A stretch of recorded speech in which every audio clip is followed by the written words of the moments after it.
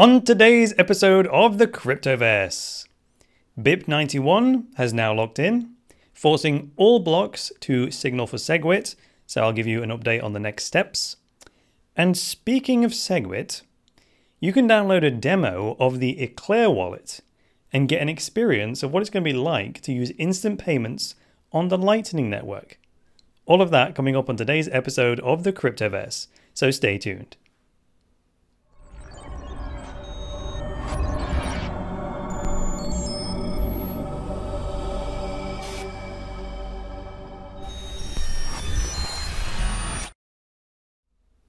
Hi there, guys. Welcome to the latest episode of the Cryptoverse, your regular dose of news and commentary on Bitcoin, cryptocurrencies, and blockchains. I'm your host, Chris Coney, the founder of Cryptoversity, the online school where you can learn about Bitcoin, cryptocurrencies, and blockchains. Find out more at cryptoversity.com. So, time for another update on exactly where we are with the whole Bitcoin scaling debate. So let's do that, shall we? Yesterday, we reached the next milestone, which was BIP 91. So BIP 91 is not only locked in, it has now activated. So that means that all blocks must signal for SegWit or they will be deemed invalid. So if we refer to the data, which today I'm going to refer to CoinDance, which is coin.dance, if you want to check this out, coin.dance forward slash blocks. This is where I'm getting my data from for today. So if we refer to this, the fact that all blocks now must signal for SegWit to be deemed valid means, well, it explains why 100% of mining power is now signaling for SegWit. Now, if you're looking at this on the screen, you'll say, well, why does it say 71.9? Well, the, the figure that it shows there is for the last week, whereas the yellow, the, the orange tab there is for the last 24 hours. And if I wave over that, it says 100% blocks mined today, 100% of them are signaling for SegWit, which you would imagine them to, because if they don't mine a SegWit block now, they're not going to get a block reward, as we mentioned the other day. Now, again, looking at CoinDance, now that BIP91 has activated, it activated quite late in the current SegWit lock-in period. And there just aren't enough blocks left in the current lock-in period to reach the threshold. So the very next milestone is to wait for the end of the current SegWit lock-in period. And to see when that's going to end, you can actually come to CoinDance yourself, which is linked in the video description. And then from here, you can look at the number of blocks remaining. And then right for me right now, that's like 482. It says that right about, um, it's just under there. There, I'll highlight it. So let me put a color on it, make it purple. So 482 blocks remaining in this signaling period. And that's not going to be enough combined with how many SegWit blocks we've got so far to reach the threshold. So you can check that out for yourself at any time. Now, 482 blocks, right? A block is roughly 10 minutes. So if we multiply them together, it works out to about 3.4 days. That is 3.4 days until the current SegWit lock-in period ends. And once SegWit fails to lock in in this lock-in period, then we'll begin a brand new one. And remember, a lock-in period for SegWit lasts 2016 blocks, which is about 14 days.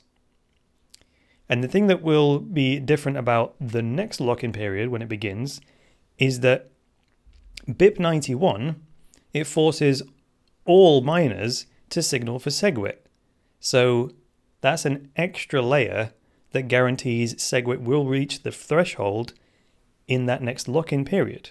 It just so happens that BIP91 appeared right in the middle of an existing activation period where some miners didn't have to signal for SegWit, and now they do. So you with me so far? We wait 3.4 days for the current SegWit lock-in period to fail, which is guaranteed to fail in this period.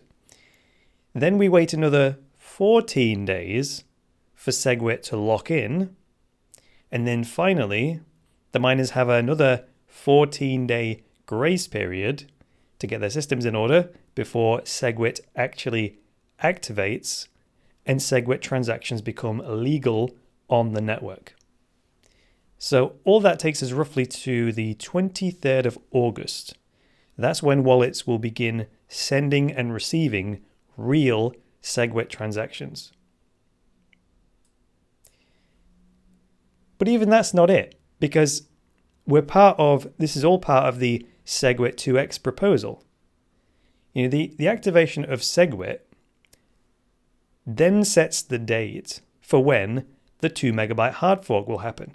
So that happens 90 days after SegWit activates.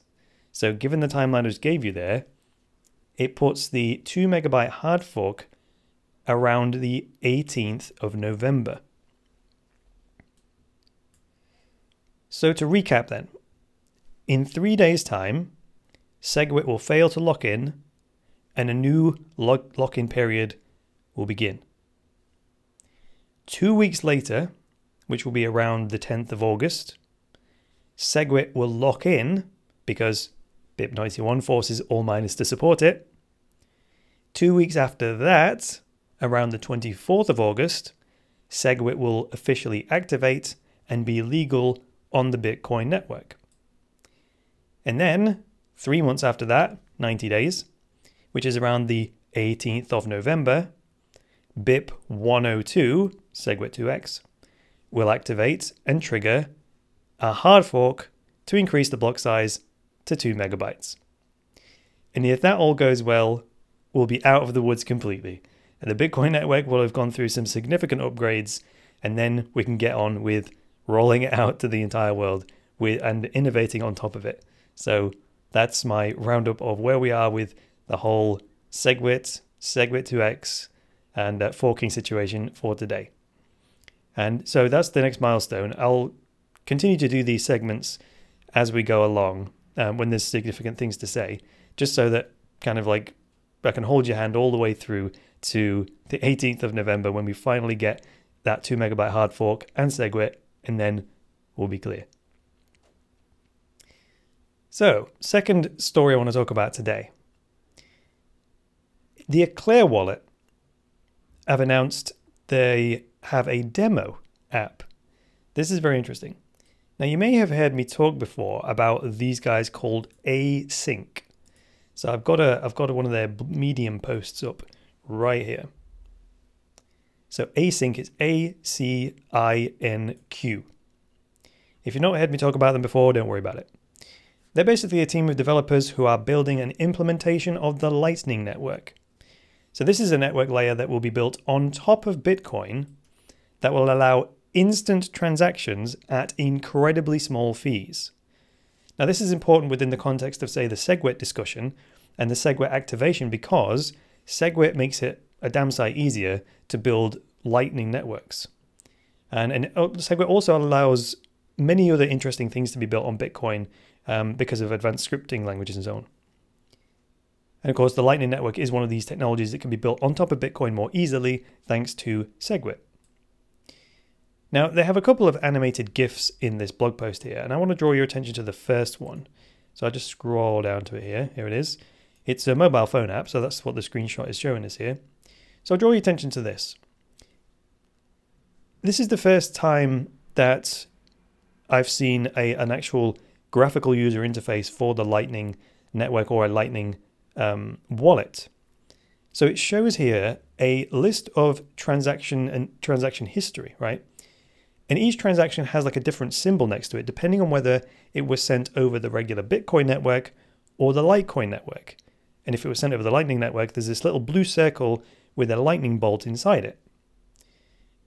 And finally, at the bottom of the blog post here, if I scroll down even further, they have this heading that says, This is all fine and dandy, but how do I try it out?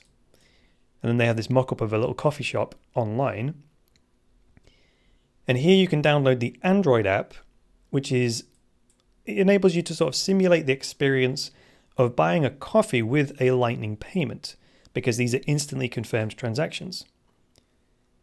Now, the other thing about Lightning payments is that they are private. So that's because they're not broadcast to the public blockchain by default. Only when a Lightning channel closes does it broadcast it to the main Bitcoin network. And, and even then, that's only the final settlement. So it's only the final transaction in the whole sequence of Lightning payments that gets settled on the main network. So that's the only one that's public anyway. And no one has any idea what happened in between times. I mean, I'm not going to go into the details of the Lightning Network. I've covered that in previous episodes, and I will do as we move closer to the uh, the launch of the Lightning Network. But for now, all you need to know is it's going to enable instant transactions for very low fees, and they're going to be private transactions. So this doesn't particularly bode well for the likes of Litecoin and Dash, does it? I mean, if Bitcoin gets, you know, if it gets a Litecoin, if it gets a Lightning network rather, Bitcoin has the greatest adoption. Lightning adds private transactions and instant transactions with low fees. Where does that leave like the Litecoin and the Dash networks? Well, the only answer I can really give to this at this moment in time is well, it leaves Litecoin and Dash with some serious competition. So that's all I've got to say about the Lightning Network for today. Think on that question. Alrighty then. Thank you very much for joining me today, guys. If you like this episode of the Cryptoverse, go ahead and hit that like button. And if you're new to the channel, get subscribed. Or if you want access to my very best stuff, check out cryptoversity.com. Alright, guys, that's all for today. I'll be back tomorrow with another edition of the Market Roundup and another edition of this news and commentary show. So until then, it's me, Chris Coney saying bye for now.